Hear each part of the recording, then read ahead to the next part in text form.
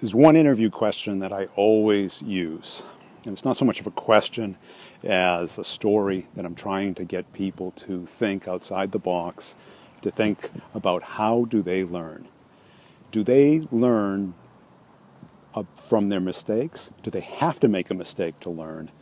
Or can they learn from other people's mistakes?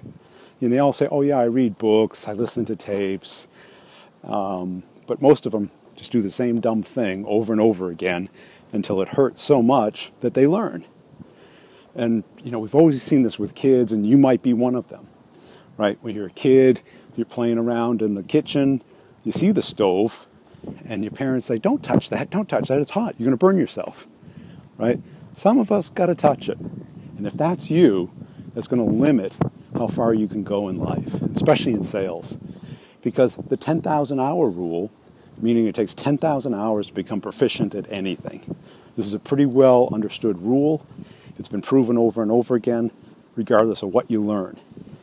If you have to spend 10,000 hours touching a stove, especially in sales, you can get very burnt and you're not going to learn very fast. So you got to learn from other people's mistakes and, and not have to repeat them yourself. That's the only way you can cut down your learning cycle. So try it. Don't touch the stove.